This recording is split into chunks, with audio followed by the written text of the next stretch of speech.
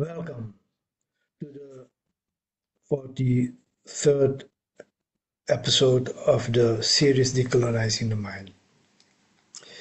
Uh, I do a sub series on the economic theory, the decolonial economic theory, and dealing with the experiences of different countries.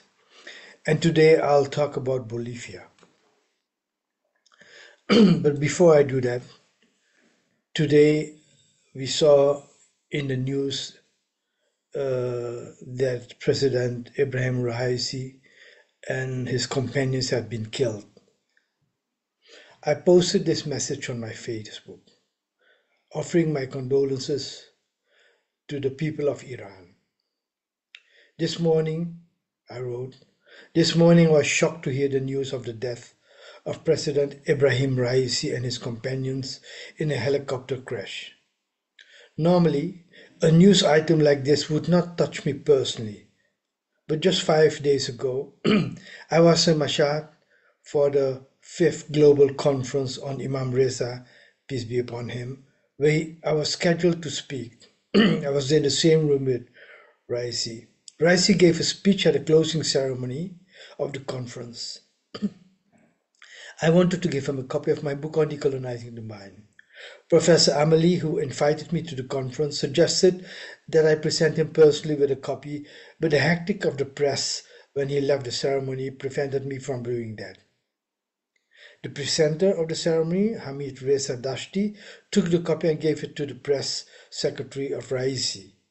In the copy, I wrote the following message to him to the President of the Islamic Republic of Iran, Dr. Said Ibrahim Raisi.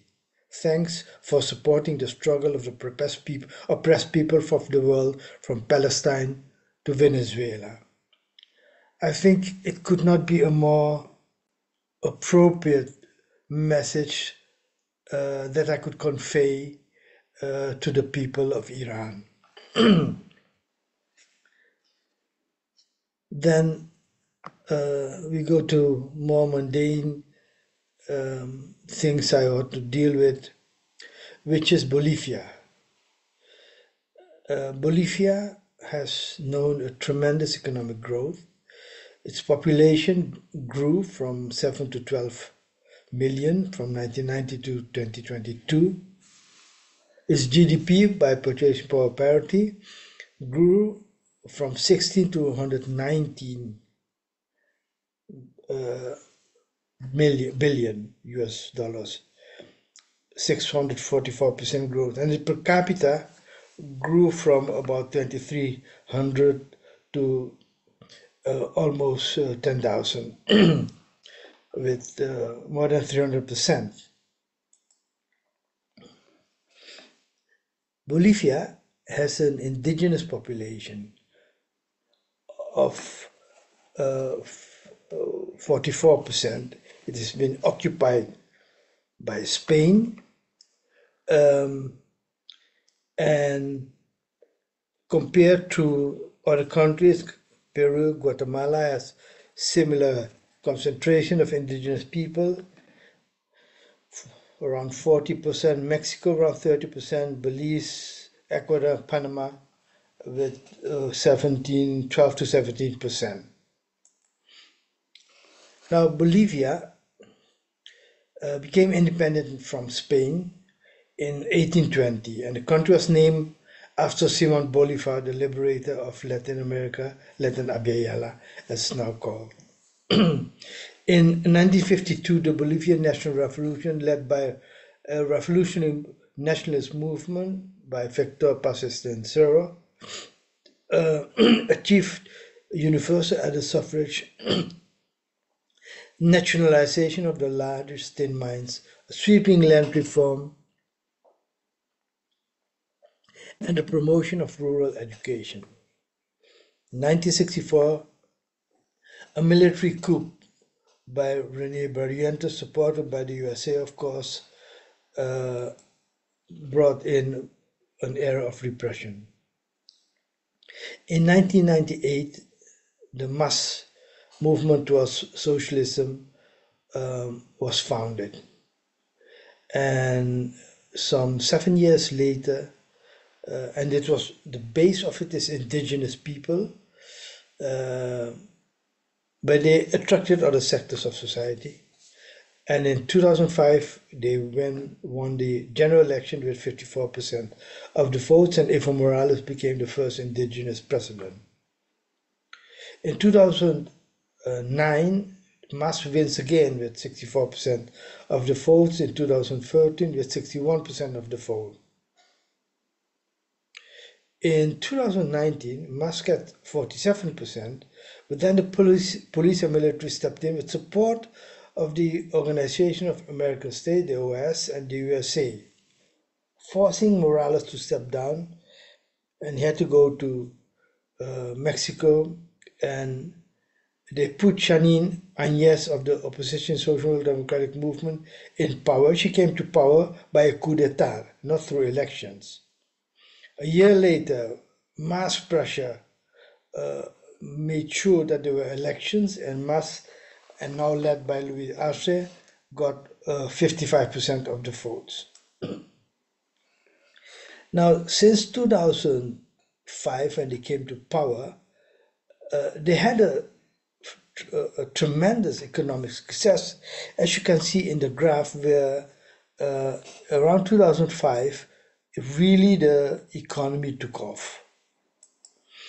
And the reason for this is the new model, social economic communitarian and productive model that Luis Arce uh, had developed. First as a ministry of, uh, as an economist and a ministry as a minister of economic affairs under Luis Arce and later on he became president. And the principles of this model is that the natural resources are in the hand of the state that income should be redistributed, that is generated from the national resources in two ways industrializing the national resources, improving other production sector, and solving social problems uh, by redistribution programs that generate new income by increasing internal demand. now, this model was developed in 1999 by a group of former activists of the Partido Socialista Uni, UNO, PS1, that criticized neoliberalism and did research into a transition to socialism through a construction of a new economic model. The group was named Grupo Duende, Goblin, and consisted of lecturers, including Luis Arce, uh, who was a professor at the Universidad Mayor de San Andres and at the Development Sciences postgraduate program of uh, uh, that university. Another group, Grupo Comuna, led by Alvaro Garcia Linera, who became the vice president under the government of Evo Morales, was also conducting research about social political progress process in Bolivia. And they joined forces uh, and the model became the base for the economic program of MAS after from 2006 onwards. one of the things is how do you deal with foreign companies, including Chinese one? And Arce said, we have signed, for example, some investments in lithium, some investments in roads, some investments with Chinese companies that are working in Bolivia. We have the State Sugar Company that's run by the Chinese people. In many sectors, Chinese companies are becoming are coming to Bolivia. We think that this is good because they bring technology. At the beginning, as many countries do, they wanted to buy all our national resources and that's it. We said no. That's not the idea for us. The idea for us is to sell value. So if you want to make a business with the Bolivian people, you have to come and establish your business in Bolivia, work in Bolivia, invest in Bolivia, and of course, then you will have everything. Um, and they did work along those lines. Now, the pillars of the new economic model was first, economic and social progress go hand in hand and strengthen each other through the mechanism of internal demand. If people receive more income through social programs, they can spend more money in the economy and thus generate more economic growth. The internal demand cushions the negative effect of falling international prices. The role of foreign companies can be beneficial under certain conditions. They can't come and buy all the, all the resources. They have to establish the business in Bolivia and invest in the country. They use the natural resources to build an industrial base for Bolivia. And then there are four propositions of the model. Growth and development are based on the exploitations of natural sources to benefit the Bolivian population, the strategic sectors. State appropriation of the strategic economic sectors, uh, of, of the surplus of the strategic economic sectors. The sector gets the profits out of it.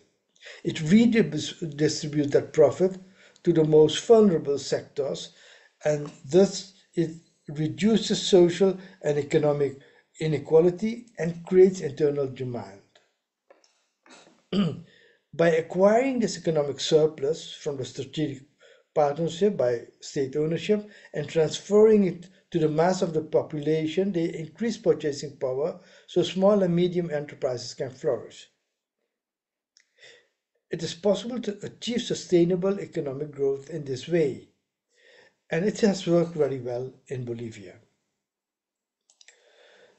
And if you look at economic theory, this model has much in common with the theory of the British economist John Maynard Keynes, who argued that demand drives supply and that healthy economics, economies spend or invest more than they save.